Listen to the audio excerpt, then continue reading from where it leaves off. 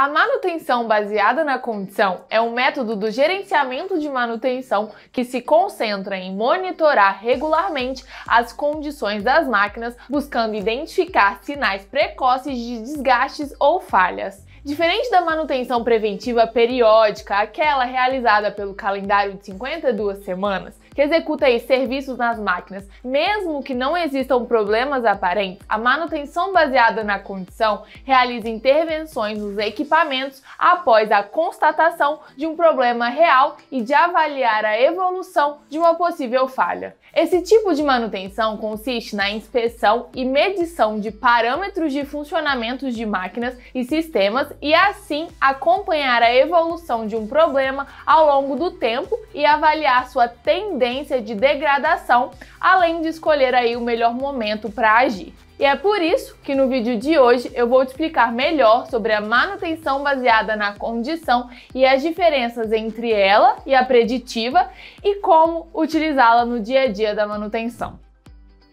Mas antes disso, já curte e se inscreve no nosso canal para a gente aí continuar fazendo conteúdo de qualidade para manutenção. O primeiro passo para compreender melhor sobre manutenção baseada na condição é entender as principais diferenças entre a manutenção baseada na condição e a preditiva. Normalmente, os termos de manutenção baseada em condição e manutenção preditiva são com frequência usados como se fossem a mesma coisa. Explicando melhor, as duas estratégias abrangem as mesmas práticas e recomendações de manutenção, que são aí a de confiar nos dados para determinar se a manutenção é necessária ou não e evitar o tempo de paradas não planejadas. Ou seja, uma que no caso está contida na outra. Porém, é aí que as semelhanças terminam. Eu vou te apresentar agora as principais diferenças desses tipos de manutenção e alguns dos exemplos. A manutenção baseada na condição, como o próprio nome já diz, se baseia nas coletas de dados, como por exemplo, vibração, temperatura, pressão, velocidade, tensão, para indicar e identificar alguma anomalia e identificar quando que uma manutenção será necessária. Já a manutenção preditiva combina coleta de dados com diagnósticos baseados em condição, como por exemplo vibração e temperatura, mas agora usa fórmulas e algoritmos complexos para prever quando que a máquina vai quebrar. Uma aplicação comum da manutenção baseada em condição, por exemplo, são as leituras de pressão em sistemas de tubulação. Os níveis de pressão são constantemente aqui monitorados e permite que a equipe de manutenção identifique possíveis vazamentos para assim então atuar quando for necessário.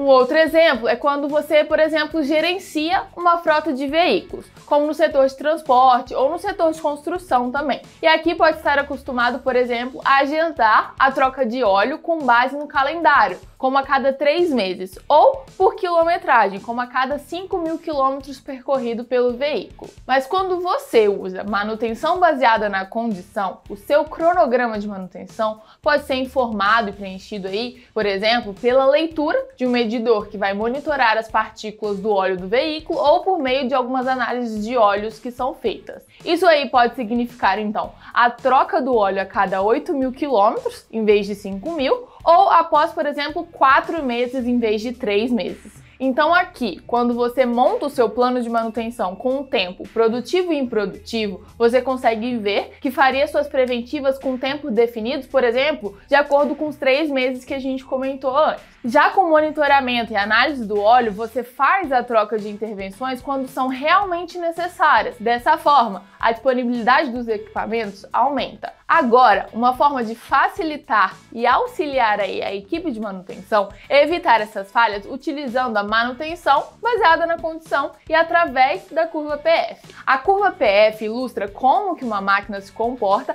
à medida que ela se aproxima da sua falha funcional. Nós já fizemos um vídeo explicando mais sobre a curva PF, que você vai conseguir encontrar aqui na descrição do vídeo. Mas uma explicação mais completa é que as máquinas se deterioram de forma gradual, até o ponto que os técnicos podem aí detectar a falha potencial, ou seja, aqui o ponto P da curva PF. Nesse ponto, a falha começa a se manifestar e se os técnicos não intervêm, o equipamento continua até o ponto da falha funcional, ou seja, o ponto F. O tempo, então, entre os pontos P e F é conhecido como intervalo PF. Ele então fornece a janela perfeita para que os técnicos aí impeçam que os equipamentos quebrem completamente. Na manutenção baseada na condição é importante então realizar análises, acompanhamento e monitoramento efetivo e realizar aí manutenções durante esse intervalo PF. Se passar muito desse intervalo, os técnicos aí vão realizar manutenções reativas porque o ativo já vai ter quebrado.